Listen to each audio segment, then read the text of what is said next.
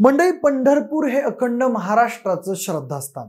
भेटी लागे जीवा लागिलेसी आस असं म्हणत लाखो वारकरी हे विठुरायाच्या भेटीसाठी पंढरपूरच्या दिशेनं जात असतात. आता काही दिवसांवरच आषाढी वारी येऊन ठेपलेली आहे.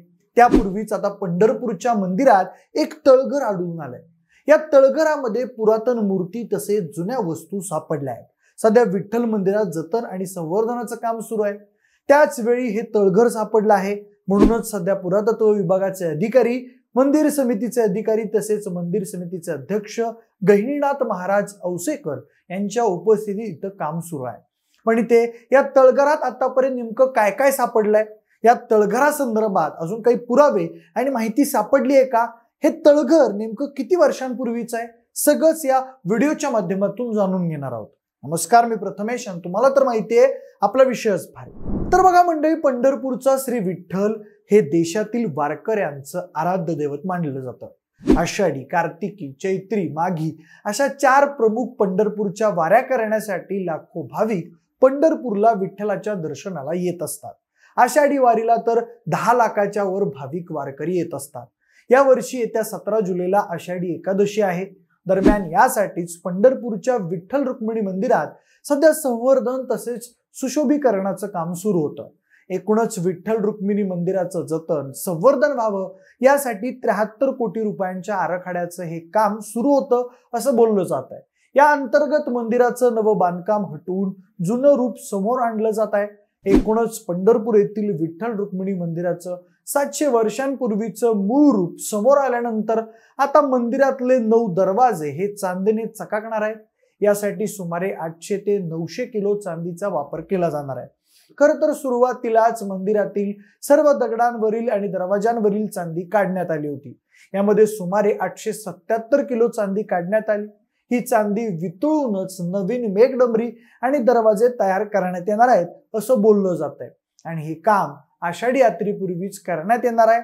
त्याचबरोबर या श्री विठ्ठल गर्भगृहाच्या मुख्य दरवाजाबरोबरच चौखांबी आणि सोळखांबी मंडपातील आठ दरवाजांवर चांदीचं नक्षीकाम केलं जाणार आहे. म्हणूनच गेल्या अनेक दिवसांपासून श्री विठ्ठल रुक्मिणी मंदिराला पुरातन रूप देण्यासाठी तीन टप्प्यात संवर्धनाचं काम सुरू करण्यात आलं होतं. मंदिर संवर्धन आणि जीर्णोद्धार आराखड्यातील प्रस्तावित कामांपैकी बाजीराव पडसाळी गर्भगृह सोळखांबी सभामंडप व इतर ठिकाणी काम सुरू आहे. पंधरा मार्च पासून गाभाऱ्यात जतन आणि संवर्धन करण्याचं काम सुरू होतं. तेव्हापासूनच विठ्ठलाचं पदस्पर्श दर्शन बंद करण्यात आलं होतं. पण आता हे काम अंतिम टप्प्यात आलं असून दोन जून पासून पदस्पर्श दर्शन पुन्हा सुरू करण्यात येणार आहे. दरम्यान गुरुवारी संध्याकाळी सात वाजता मंदिरातील हनुमान दरवाजा येथील दगडी फरशीचं आणि भिंतींच्या दगडांचं फ्लोरिंग करण्याचं काम सुरू होतं. दगडी फरशीचं फ्लोरिंग करत असतानाच एक दगड खाली जमिनीत दबला गेला आणि त्या ठिकाणी पोकळी निर्माण झाली. म्हणूनच मग जेव्हा तो दगड बाजूला करण्यात आला तेव्हा त्या दगडाच्या खाली पोकळी दिसून आली. या तळघरात मूर्ती सदृश्य वस्तू असल्याचं प्रथम दर्शनी दिसून आलं. त्यानंतर गुरुवारी फक्त एकच दगड काढून पाहणी करण्यात आली. त्यामुळे त्या दिवशी हे तळगर आहे की भुयार आहे याबाबत नेमकी माहिती समजू शकली नव्हती.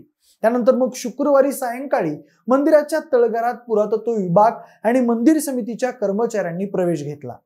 एकूणच या तळघरातून विष्णू रूपातील तीन चार फुटी उंची असलेली मूर्ती आणि पादुका सापडल्या.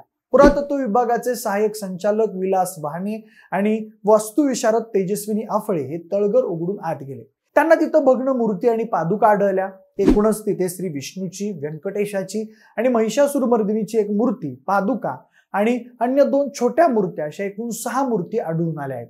या मूर्ती सोळाव्या शतकातल्या असल्याचा अंदाज पुरातत्व विभागाचे सहाय्यक संचालक डॉक्टर विलास वहाणे यांनी व्यक्त केला आहे आता पुढच्या संशोधनानंतर या मूर्तीचे पुढचं आयुर्मान काढलं जाईल.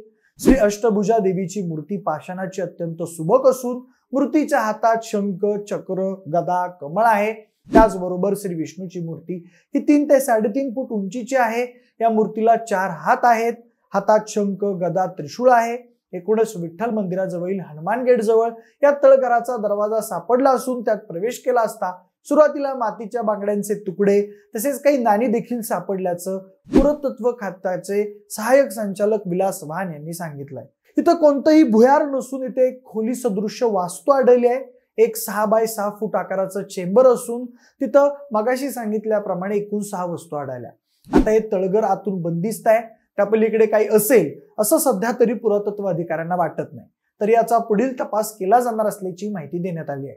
एकूणच मागाशी सांगितल्याप्रमाणे हे अवशेष सोळाव्या ते अठराव्या शतकातील असावेत अशी शक्यता पुरातत्व विभागाच्या अधिकाऱ्यांनी व्यक्त केली आहे. विठ्ठल मंदिराचं मूळ रूप उघड करण्याचं काम सध्या सुरू आहे. त्याअंतर्गत मंदिरात नंतर बसवण्यात आलेल्या फरशा संगमरवर आदी काढल्यानंतर आता मूळ दगडी स्वरूपातील मंदिर इथं दिसू लागलं आहे. मंदिराच्या विकास आराखड्याची अंमलबजावणी सध्या करण्यात येत आहे. पण आता या तळघराबाबत लवकरच मंदिर समितीचे अध्यक्ष आणि पुरातत्व विभागाची टीम या तळघराची पाहणी करून पुढील निर्णय घेणार असल्याची माहिती मंदिर समितीचे कार्यकारी अधिकारी राजेंद्र शेळके यांनी पत्रकार परिषदेत दिली आहे. आता या तळघराबाबत आणखी जाणून घेण्यासाठी मंदिराची पूर्वापार पूजार्चा करणारे बडवे आणि उत्पाद पुजारी मंडळी यांच्याकडून अधिक माहिती घेतली जात आहे. पण मुस्लिम आक्रमणापासून बचाव करण्यासाठी श्री विठ्ठल रखमाईची मूर्ती सुरक्षित स्थळी हलवली जात होती का? यासाठीचे तळघर आहे का?